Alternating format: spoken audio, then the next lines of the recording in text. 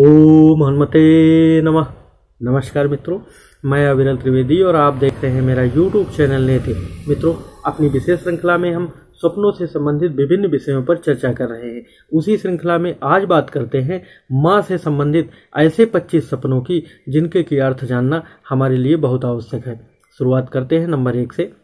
मंत्र जपने से कार्य सफल होता है। नंबर दो, मंत्र पाने से शांति मिलती है। नंबर तीन मंत्री देखने से सम्मान में वृद्धि होती है। नंबर चार, मंदिर देखने से धर्म बढ़ता है। नंबर पाँच, मकान टूटता देखें तो अलगाव होता है। नंबर छः मक्खी देखने से धनहानि होती है। नंबर सात, मकड़ी देखने से संकट और संघर्ष होता है। नंबर आठ, मकड़ी का जाला देखने से शुभ सफलता मिलती है। नंबर नौ, मगरमच्छ देखने से शुभ समाचार मिलता है। नंबर दस, मच्छर देखने से अपमान होता है। नंबर ग्यारह, मछली देखने से नया कार्य प्रारंभ होता है।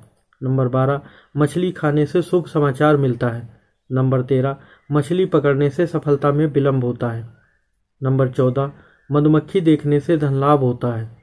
नंबर पंद्रह, मनुष्य के पैर देखने से दुश्मन बढ़ते हैं। नंबर सोलह, मरीज़ देखने से रोग समाप्त होता है। नंबर सत्रह, मलाई खाने से व्यक्ति धनवान बनता है। नंबर अठारह, मसूर की दाल देखने से धन लाभ होता है।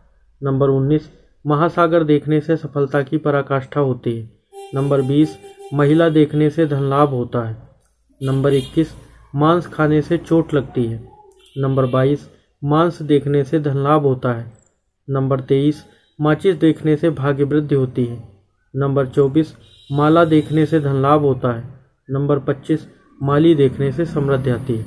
मित्रों हमारे वीडियोज़ आपको कैसे लग रहे हैं, अगर अच्छे लग रहे हैं तो कृपया लाइक करिए शेयर करिए, और हमारे चैनल को सब्सक्राइब अवश्य करिए। आपका बहुत बहुत धन्यवाद बहुत बहुत आभार। नमस्कार।